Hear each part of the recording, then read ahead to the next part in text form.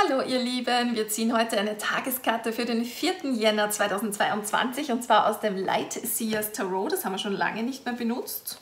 Werden wir schauen, was da für eine Karte rauskommt für den 4.1.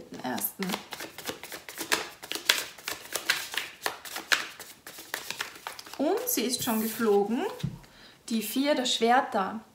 Die Vier Schwerter ist eine Karte der Heilung. Das bedeutet, wir dürfen jetzt mal rasten, wir dürfen mal uns zurückziehen, wir dürfen mal wirklich in uns gehen und schauen, wo sind vielleicht noch irgendwelche Wunden oder Traumata, die zu heilen sind, wo kann ich mich einmal wirklich für mich selber, wo kann ich für mich selbst etwas tun.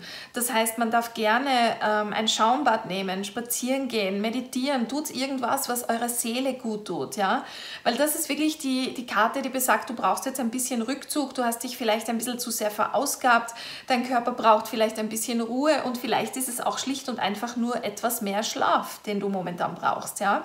Ähm, das ist die Tageskarte soweit. Jetzt schauen wir mal, wer ist der Glückspilz und was die Glückszahl. Glückszahl heute ist die 9 und Glückspilz heute ist der Witter. Ja. Ich wünsche euch ganz einen schönen Tag und wir sehen uns bald wieder. Tschüss, Baba!